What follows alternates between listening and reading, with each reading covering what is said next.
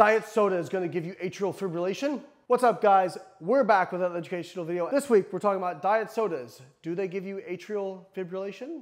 But first, like the video, subscribe to the channel, and leave a comment for the algorithm. So a new paper got published and got a ton of press as per usual with anything involving artificial sweeteners and diet soda. So they were looking at people who consumed high amounts of artificially sweetened beverages versus people who took in fruit juice versus people who just drank sugar sweetened beverages. And what they found was that over two liters per week of diet soda intake or artificially sweetened beverage intake was associated with a significantly greater risk of atrial fibrillation. Now, a lot of people were freaking out about this, but the reality is there's a lot of confounding variables in this study because it is an epidemiology study. And if we look at what the authors said in terms of their explanation, I don't think it really makes sense. But let's, let's back up a bit. So first of all, one of the big confounding variables here is we know that people who are more overweight or obese are more likely to drink diet soda. And in fact, we see that that is the case.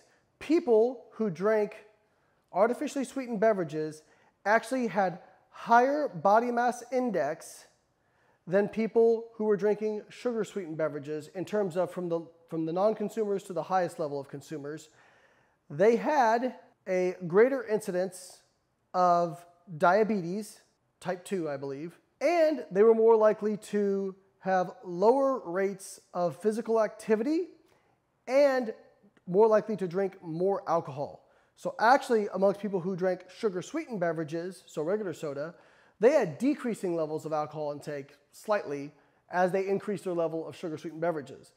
People who were drinking artificially sweetened beverages had increasing levels of alcohol intake. There's a lot of confounding variables in here. Now, they said they covariated out these variables, and covariation is a way that you can account for some of these uh, confounding variables when you're doing statistics. But I'm sorry, you cannot covariate out like a dozen things. Like, uh, you can, stats people will argue with me, but I, I strongly disagree that you can just covariate out everything. The other issue is caffeine intake.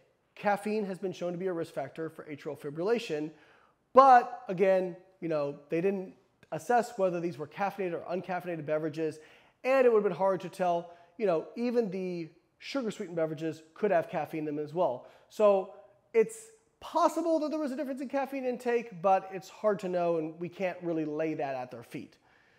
Now, I think the interesting portion of this is, again, people who drink diet soda are actually more likely to be overweight or obese, not because it causes them to be overweight or obese, but because they're more likely to attempt to diet and they will use diet sodas as a tool during that.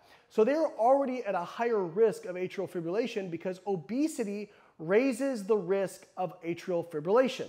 Now, one of the things that was interesting was that they said that the two plausible mechanisms they saw were an increase in insulin resistance and vagus nerve stimulation. Now, here's the problem with that. We know that in studies where people drink diet soda in place of regular soda, they actually get improvements in insulin sensitivity because they lose body weight.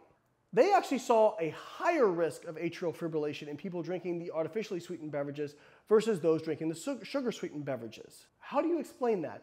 Because if insulin resistance and vagal nerve stimulation is possibly driving this increased risk of atrial fibrillation, then the sugar sweetened beverages should have a higher risk because they're going to contribute much more to insulin resistance and they will also have the vagal nerve stimulation, whereas artificial sweeteners are just going to have the vagal nerve stimulation. So that doesn't really make sense for an explanation because you're seeing the results go reverse of what they should be based on that particular mechanism that they're proposing. And I, also looked at, they were assessing relative risk, okay? So it's important to understand relative risk. So it was about a 20% increased relative risk. Now, that sounds scary, but if we look at the absolute risk, so the absolute risk in this population of atrial fibrillation was 4.6%. That went to 5.1% amongst people who consume more than two liters of artificially sweetened beverages per week. Doesn't sound nearly as scary.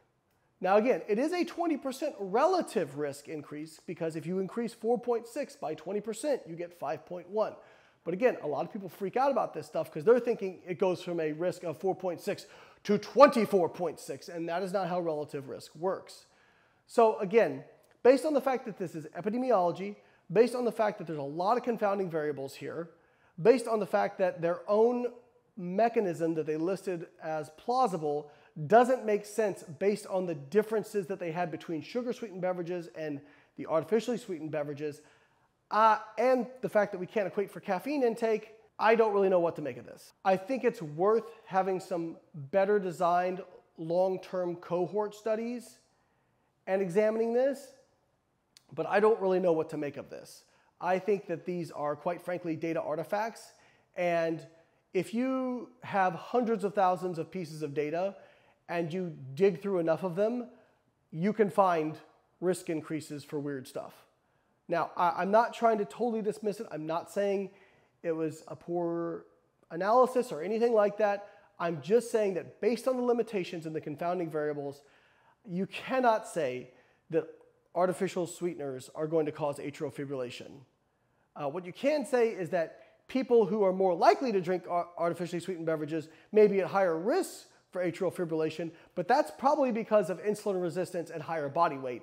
I very much doubt it is due to the artificial sweeteners. If you guys are sick and tired of the headlines in the media and social media confusing you when you just feel like you got it figured out, make sure you subscribe to my research review reps every month.